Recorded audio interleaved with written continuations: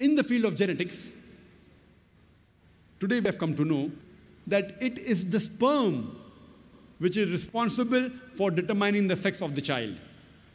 And today science tells us that the 23rd pair of chromosomes in the human being, it determines the sex of the child. If it's XX, it's a female. If it's XY, then it's a male. So it is the sperm which is responsible for determining the sex. If the X of the sperm takes part in the fertilization, then a female is born. If the Y takes part, then a male is born. And this is exactly what the Quran says in Surah Najm, chapter number 53, verse number 45 and 46, that we have created the human being from a minute quantity of liquid which is ejaculated. Minute quantity of liquid, ejaculated means it has to be a male fluid. The similar message is repeated in Surah Qiyamah, chapter number 75, verse number 37 to 39, that we have created the human being from a minute quantity of sperm. Nutfatun min maniyumna.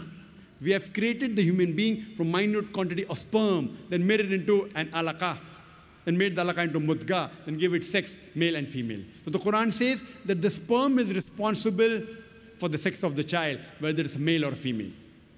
In this country of ours, this great country, India, for reasons known best to the Indians, in India mainly, most of the people, they prefer having sons rather than daughters. And if a lady gives birth to a daughter, very often the mother-in-law, she will blame the daughter-in-law. That why did you give birth to a daughter? According to the science and the Quran, if the mother-in-law has to blame anyone, she should not blame the daughter-in-law, she should blame the son.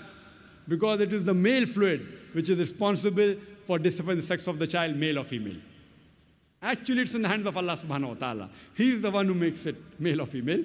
But if the mother-in-law has to blame anyone, she should blame the son. Because he is responsible for the sex of the child, male or female.